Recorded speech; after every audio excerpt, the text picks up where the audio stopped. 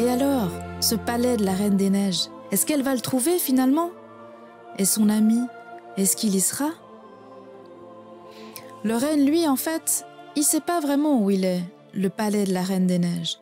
Ce qu'il sait par contre, c'est que là d'où il vient, là où vivent les siens, les reines, on parle d'une magicienne très puissante et qui sait tout. C'est elle qu'il faut aller voir. Elle saura leur dire, elle, où il se trouve ce fameux palais. Et ça fait un moment qu'ils marchent. La forêt a laissé place à une grande plaine toute couverte de neige. Bientôt, ils ont vu les tipis des éleveurs de rennes, qui les ont accueillis, leur ont dit que pour trouver la magicienne, il fallait continuer tout droit en direction des montagnes, et que, quand un jour ils verraient une grande fumée blanche s'élever vers le ciel, ils sauraient qu'ils étaient au bon endroit. Alors ils ont continué leur chemin. Le renne, lui, il enfonce ses pattes l'une après l'autre dans la neige, et elle, sur son dos, elle se tient très droite, frigorifiée. Elle n'ose bientôt plus fermer les yeux, de peur de s'endormir et de ne plus jamais se réveiller. Ils sont dans un espèce de désert tout blanc, presque bleu, avec rien d'autre à l'horizon que ces montagnes qui paraissent de plus en plus hautes à mesure qu'ils s'en approchent. Les jours sont de plus en plus courts, les nuits de plus en plus longues. Il fait de plus en plus froid. Enfin, un matin, il la voit, cette fameuse fumée. Elle s'élève depuis une petite cabane nichée tout au pied de la montagne. Une cabane faite de, branches mortes entremêlées et de lourds panneaux de tissu et de cuir. Et devant, elle est là, la magicienne, une très vieille femme. Ses cheveux lui tombent jusqu'aux pieds. Ils sont blancs, d'un blanc aussi pur que la lumière. La peau de son visage est recouverte de milliers de petites rides toutes fines. Ses yeux sont bleus très clairs, presque transparents. Quand elle les voit, elle ouvre grand ses bras pour les accueillir. Elle leur dit qu'elle les attendait, qu'à l'intérieur tout est prêt. Ils entrent. Il y a un grand poêle au milieu de la pièce, avec un bon feu qui crépite. Il fait bon chaud. Il y a une cuisinière à bois tout au fond, avec un gros chaudron qui fume posé dessus. Et puis tout autour, des coussins, des peaux de bêtes qui ont l'air tellement douillettes.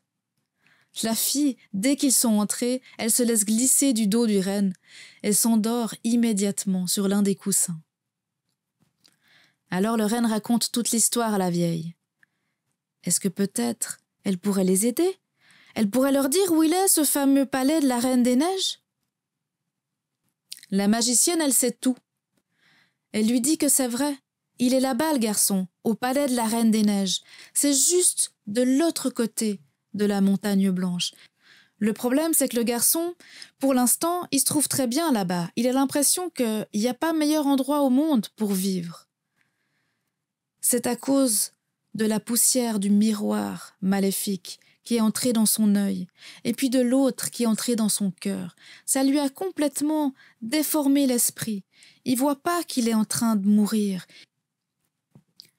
Pour le sauver, la fille, elle devra le débarrasser de ces deux poussières de miroir. Si elle ne le fait pas, la Reine des Neiges gardera pour toujours son pouvoir sur lui. Si elle ne le fait pas, le garçon ne pourra pas revenir dans le monde des humains. Alors le reine demande à la magicienne si elle ne pourrait pas euh, lui donner euh, quelque chose, par exemple euh, la force de douze hommes pour vaincre la reine des neiges. La force de douze hommes? En voilà une idée. La force de douze hommes? Mais ça ne servirait à rien. Est-ce que le reine ne voit pas avec quel courage elle est partie seule de chez elle dans l'inconnu, avec quelle volonté elle a parcouru le monde avec ou sans chaussures? Est-ce que le reine ne voit pas comme tous, hommes, animaux, se sont mis à son service pour l'aider dans sa quête? Non, la magicienne ne peut pas lui donner un plus grand pouvoir que celui qu'elle a déjà, et qui lui vient de la pureté de son cœur. Est-ce qu'il y a un amour plus pur que d'être prêt à donner sa vie pour ses amis? Alors, si cette fille-là, elle n'entre pas elle-même dans le palais de la Reine des Neiges pour débarrasser le garçon des poussières de miroir, personne ne pourra rien pour lui. Le lendemain, la vieille a hissé la fille sur le dos du renne. Ils connaissaient le chemin maintenant. Ils ont pris ce petit sentier qui traversait la montagne jusque de l'autre côté. Ils sont arrivés devant un buisson qui poussait dans la neige et qui était couvert de fruits rouges. C'est là que le renne a dû la laisser. Il l'a fait descendre de son dos, il a glissé son museau dans son cou pour lui dire au revoir. Et puis il est parti. Elle, elle a pris une grande inspiration, et puis elle est entrée.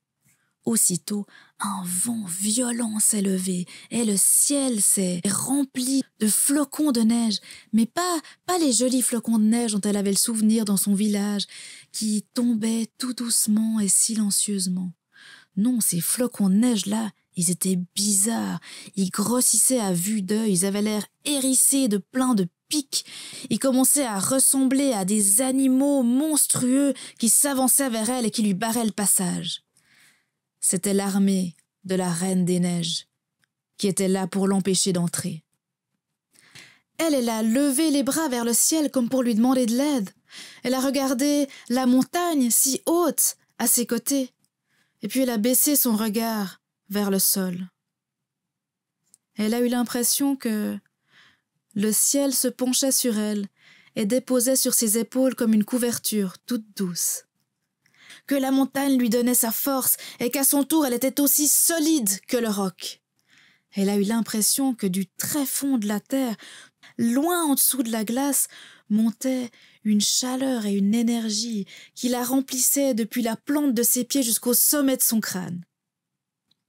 Et en soufflant dans l'air glacé, son haleine s'est transformée en un nuage de plus en plus épais. De ce nuage naît un géant de pierre avec un casque étincelant et une armée de feu. À chaque nouveau souffle apparaît un nouveau géant. Elle a bientôt une armée devant elle qui s'attaque aux flocons monstrueux, qui les transperce, qui les font disparaître, jusqu'à ce qu'il n'y en ait plus aucun. Et la voilà, enfin, devant le palais de la Reine des Neiges. Mais il faut continuer de lutter, parce que le vent, lui, n'a pas cessé ses efforts. Il continue de lui barrer le passage, de lui griffer les joues. Elle en a assez. Elle est fatiguée. Elle a juste envie que ça s'arrête. Elle repense à tout chemin parcouru, tous ces gens qu'elle a rencontrés, qui l'ont aidée. Elle repense à son village. Elle repense aux grands-mères qui leur racontaient des histoires quand ils étaient petits. Elle repense à son amie pour qui elle est venue jusqu'ici. Alors elle redresse la tête, et le vent se calme, et elle peut entrer.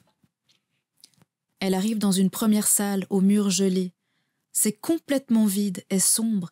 Il y a juste cette espèce de lumière des aurores boréales un peu froide et étrange qui apparaît et disparaît à intervalles réguliers. Elle traverse la salle, arrive dans une deuxième, une troisième, une quatrième. Elles sont toutes exactement pareilles, complètement vides, toutes exactement de la même taille, toutes avec des fenêtres et des portes exactement au même endroit. Ici, tout est vide triste, mort. La fille arrive enfin au centre du château, dans une salle plus grande que les autres. Elle est remplie d'un grand lac gelé, mais la glace est brisée en des milliers de petits morceaux. Ils ont tous exactement la même taille et la même forme, et ça fait comme une mosaïque géante absolument parfaite. Quand la Reine des Neiges est chez elle, c'est là qu'elle trône. Elle aime dire qu'elle trône sur le miroir de la raison. Et pour elle, il n'y a pas de meilleur miroir, ni de miroir plus parfait que celui-ci. Mais à ce moment-là, la reine n'est pas au palais. Elle est partie quelques jours plus tôt dans le sud, saupoudrer un peu sa neige sur les volcans des pays chauds pour mesurer sa force. Elle a laissé le garçon seul au palais, mais avant de partir, elle lui a donné un jeu. Il doit assembler des formes avec des petits cubes de glace, un peu comme un casse-tête. Avec ces cubes, il doit former un mot, un mot qu'elle lui a dit en secret, un mot qui le libérera. S'il arrive à le former, il sera son propre maître, et elle, elle lui offrira le monde entier, et aussi une nouvelle paire de patins. Alors depuis, il n'a pas arrêté. C'est devenu comme s'il n'y avait rien de plus important au monde. Il est complètement absorbé par son jeu. Il ne se rend plus compte de rien. Il ne se rend pas compte que ses doigts, ses oreilles, ses paupières, ses lèvres sont devenus bleus, presque noirs de froid. Il ne se rend pas compte qu'un énorme bloc de glace est en train de prendre la place de son cœur. Il ne se rend pas compte que quelqu'un est entré dans la salle. Elle, elle le voit, elle court vers lui, elle se jette dans ses bras. Mais il ne réagit pas, il semble même pas la voir. Alors elle se met à pleurer, pleurer toutes les larmes de son corps, des larmes chaudes et salées qui coulent sur sa poitrine à lui alors qu'elle se serre contre lui. Et les larmes vont jusqu'à son cœur.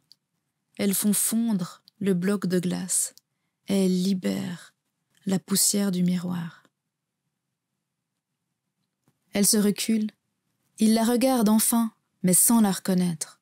Lui, ça lui fait un peu comme quand on a un mot sur le bout de la langue, et que plus on essaye de le retrouver, plus il nous échappe. Il voit ses rubans rouges au bout de ses nattes. Alors elle, elle en détache un de ruban. Elle le lui montre, et elle lui dit doucement Regarde, regarde comme la rose est belle. Regarde comme elle brille dans le soleil.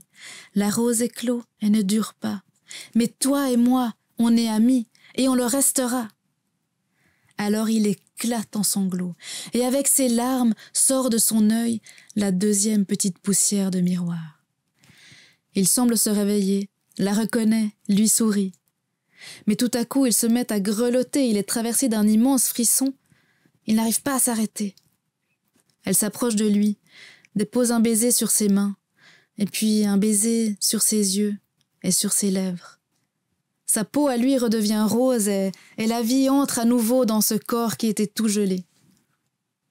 Il se serre dans les bras, il rit, il pleure à la fois, et leur joie est si forte et si contagieuse que tout autour d'eux se met à danser et tournoyer. Les petits blocs de glace aussi, avec lesquels ils jouaient avant, se mettent à tournoyer autour d'eux. Ils s'assemblent, se désassemblent, et pour finir, ils retombent par terre et forment un mot. Et lui, il voit que c'est le mot que la Reine des Neiges lui avait dit en secret, le mot qui le libérerait. Désormais, il n'a plus à avoir peur de la Reine des Neiges. Elle peut bien revenir au palais, elle peut bien se mettre à sa poursuite. Elle n'a plus aucun pouvoir sur lui. Désormais, il est son propre maître. Il prend la main de son ami et ils s'en vont. Dehors, le vent est tombé. Un soleil timide réchauffe leurs joues. Ils passent à côté du buisson aux fruits rouges, reprennent le petit chemin qui traverse la montagne et arrivent à la cabane, où ils retrouvent la vieille et le renne. Et puis il y a le désert blanc et la grande plaine avec les tipis des éleveurs de rennes, et la forêt. Là, ils revoient la brigande et toute sa bande qui leur fait bon accueil. Et puis le prince et la princesse aussi.